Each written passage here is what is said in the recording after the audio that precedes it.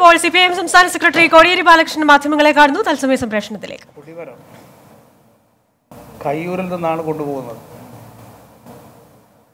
അഞ്ചാം തീയതി രാവിലെയാണ് അതിന്റെ പ്രയാണം ആരംഭിക്കുക. നാലാം തീയതി വൈകുന്നേരം കയ്യൂരിൽ നടക്കുന്ന സമ്മേളനത്തിൽ വെച്ച് അതിന്റെ ഉദ്ഘാടനം നിർവഹിക്കും. തുടർന്ന് പിറ്റേ ദിവസം രാവിലെ ആയിരിക്കും വളണ്ടിയർമാർ. ആ കൊടിമരത്തെ അനുധാപനം ചെയ്തുകൊണ്ട് ബൈക്കുകളിൽ സഞ്ചരിച്ച് കണ്ണൂർ വരെ അതെത്തിക്കും. വൈകുന്നേരം അഞ്ച് മണിയോടുകൂടി കണ്ണൂരിൽ കൊടിമരം വയലാറിൽ നിന്ന് പുറപ്പെടുന്ന പതാക ഒന്നാം തീയതി ആരംഭിക്കുന്ന പതാക പതാക ജാഥ അന്ന് വൈകുന്നേരം തന്നെ അഞ്ച് മണിക്ക് കണ്ണൂരിൽ എത്തിച്ചേരും രണ്ടും കൂടി കണ്ണൂരിൽ സംഗമിച്ച് പൊതുസമ്മേളന നഗരി സ്റ്റേഡിയത്തിൽ അഞ്ചര മണിക്ക് സ്വാഗത സംഘം ചെയർമാൻ പിണറായി വിജയൻ പതാക ഉയർത്തും.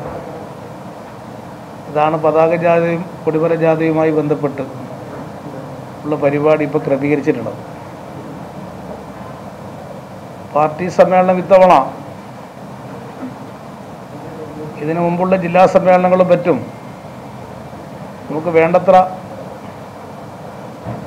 ജനപങ്കാളിത്തം നടത്താൻ കഴിഞ്ഞിരുന്നില്ല.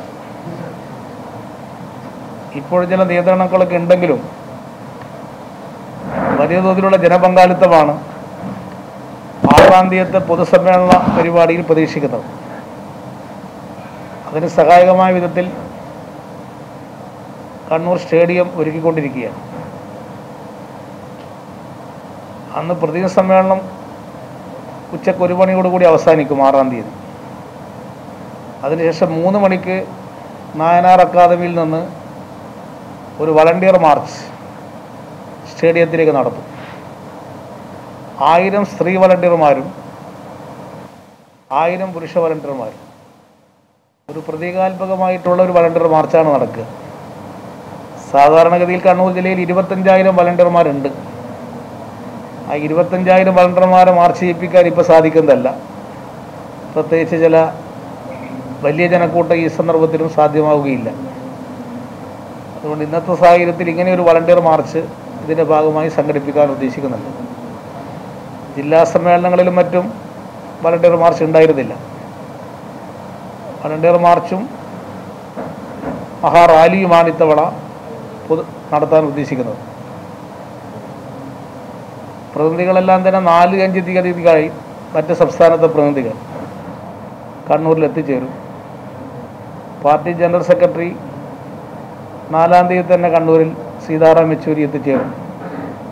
മറ്റ് പോളിറ്റ് ബ്യൂറോ മെമ്പർമാരും നാല് അഞ്ച് തീയതികളിലായിട്ട് കണ്ണൂരിൽ എത്തിച്ചേരുന്നതാണ് സി പി ഐ എം ഇരുപത്തിമൂന്നാം പാർട്ടി കോൺഗ്രസിന്റെ സമയക്രമങ്ങളെക്കുറിച്ചും കാര്യപരിപാടികളെക്കുറിച്ചുമെല്ലാം വിശദീകരിക്കുകയായിരുന്നു സി പി ഐ എം സംസ്ഥാന സെക്രട്ടറി കോടിയേരി ബാലകൃഷ്ണൻ.